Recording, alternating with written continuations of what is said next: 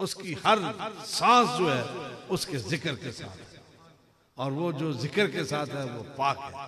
اس کی نگاہ پاک ہے، اس کی خیال، اس کا خیال پاک ہے، اس کی چال پاک ہے۔ ہر چیز پاک ہو اور جو پاک ہر چیز ہو جائے، تو جو جس جہاں پہ وہ نظر ڈالے گا نا، وہ بھی پاک ہو جائے گا۔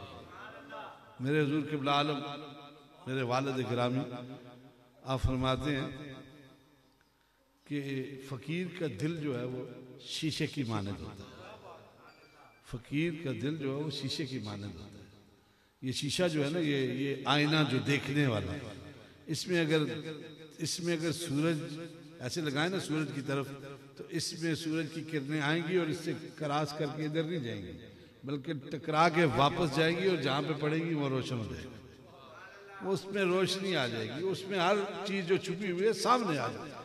اسی طرح فقیر جو ہے کثرت ذکر سے، حضور کی محبت کے ساتھ اور حضور اللہ اور اللہ کے رسول کے ذکر کے ساتھ اس کا دل جو ہے بالکل شیشے کی مانند ہو جاتا ہے۔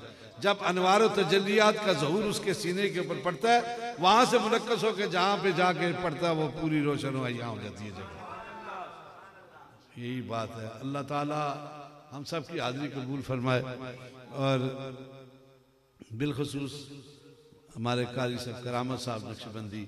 اور پھر یہ کرم فرمائے میں تو عام سا بندہ ہوں۔ یقین کریں، یہ ایسی بات کرنے بھی گناہ ہے۔ ہاں جی؟ کہ اپنے آپ کو حقیقت نہیں، میں حقیقت بیان کر رہا ہوں۔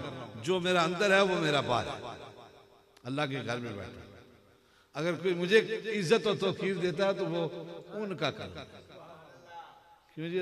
ان کا کرم جن کے ساتھ میری نسبت۔ یہ ان کی وجہ سے ملا۔ تو یہ ان محبت یہ محبت والے حضرت مفتی صاحب ہیں۔ اور حضور ان کے والد گرامی قبلہ تشریف لے گئے۔ اللہ پاک اچھا،, اچھا اللہ پاک ایسے ایسے برگزیدہ لوگوں کے ساتھ محبت کیجیے اچھے لوگوں کے ساتھ۔ اور یہ دیکھنا، یہ ان کے اندر ایک خصوصی خصوصی حیثیت ہے کہ جو ہر بندے کے ساتھ محبت کرتے ہیں۔ دنیا میں آئی محبت۔ محبت کے علاوہ کوئی چیز۔ دنیا تو معمولی بات ہے نا۔ حضور باجی صاحب فرماتے ہیں کہ مجھے کوئی خدا سے ملنا چاہتا ہے، میرے دادا، میرے جد امجد، کوئی خدا سے ملنا چاہتا ہے تو میں دو قدم پہ خدا کو ملاتا ہوں۔ یہ فرمان ہے آپ کا۔ دو قدم پہ۔ ہاں جی دو قدم کون سے ہیں؟ انہوں نے فرمایا، ایک قدم دنیا سے ہٹا دو اور ایک قدم آخرت سے ہٹا دو۔ دیکھو رب کی بارگاہ میں اپنے آپ کو کھڑا پاؤ۔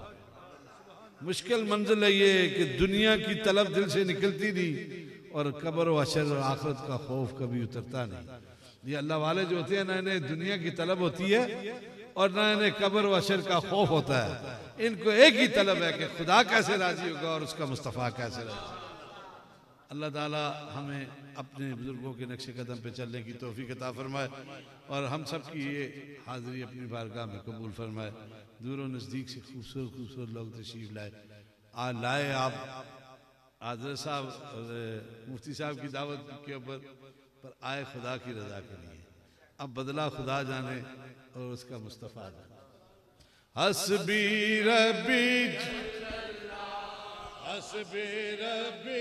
جل اللہ حسبی ربی جل اللہ معافی قلبی غیر اللہ معافی قلبی غیر اللہ معافی قلبی غیر اللہ حق اللہ موجود اللہ حق اللہ موجود اللہ حق اللہ موجود اللہ نور محمد صلی اللہ محمد صلى الله نور محمد صلى الله لا إله إلا الله لا إله إلا الله لا إله إلا الله لا إله إلا الله إلا الله إلا الله إلا الله إلا الله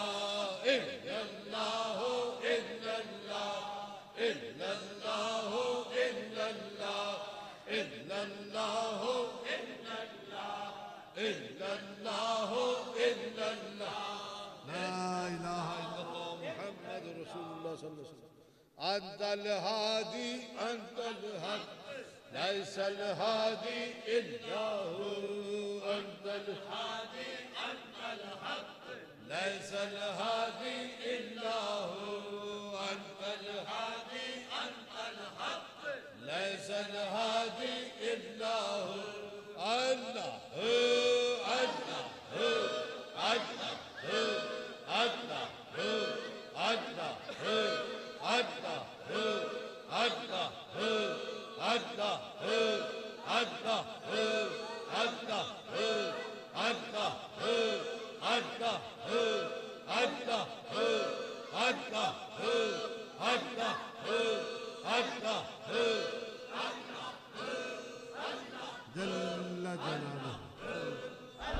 جل جلاله جل جلاله جل شأنه.